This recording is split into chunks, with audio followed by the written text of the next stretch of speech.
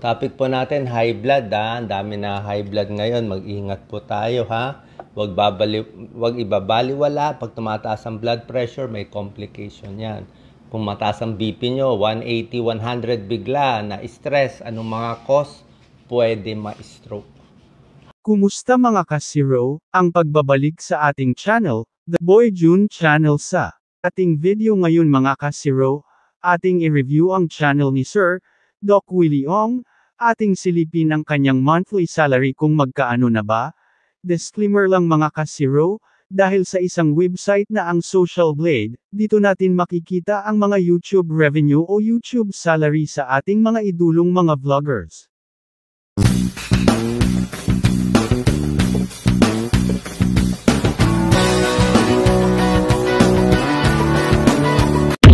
Doc Willie Tan Ung, Chinese doctor, cardiologist internist and media personality. Na sumisikat sa pagbibigay ng medikal na payo sa pamamagitan ng kanyang Facebook page at sa kanyang YouTube channel.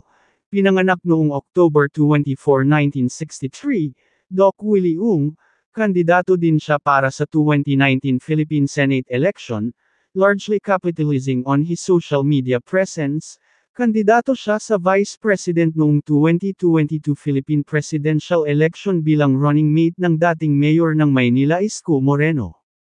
Doc Willie Ung. Nag-umpisa itong mag-vlog noong March 31, 2007, at may upload video itong umaabot ng 6,666,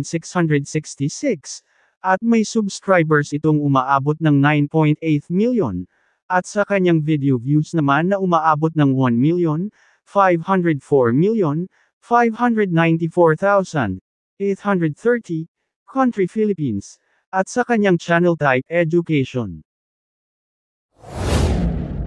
At sa kanyang total grade B, at sa kanyang social blade rank naman. 34,662, at dito sa kanyang subscribers rank naman pang 386 ito. At sa video views rank naman pang 10,700 ito. At dito sa country rank pang 16 po ito. At sa education rank naman pang 95 po ito. At dito sa kanyang the last 30 days na subscribers may 120,000 ito. At tumataas ito ng 116.7 percent. At dito naman sa kanyang the last 30 days na video views. May 23.471 million. At tumataas ito ng 64.4%. At dito na tayo sa kanyang YouTube stats summary diretso tayo sa estimated earnings sa daily average tayo. Sa lowest may nakuha itong 196 US dollars kung atin ipalit sa piso sa 55 US dollars tayo magbase ngayon. Mayroon itong 10,780 pesos. At dito sa highest estimated earning naman tayo may nakuha itong 3,100 US dollars. Kung ating ipalit sa peso, mayroon itong 170,500 pesos. At dito na tayo sa weekly average sa kanyang lowest, may nakuha itong 1,400 US dollars. Kung ating ipalit sa peso, mayroon itong 77,000 pesos. At dito naman sa kanyang highest earnings may nakuha itong 21,900 US dollars. Kung ating ipalit sa peso umaabot ito ng 1,204,500 pesos. At dito na tayo sa kanyang estimated monthly earnings sa lowest may nakuha itong 5,900 US dollars. Kung ating ipalit sa piso, umaabot ito ng 324,500 pesos. At dito na tayo sa kanyang highest estimated earnings. May nakuha itong 93,900 US dollars. Kung ating ipalit sa peso umaabot ito ng 5,164,500 pesos.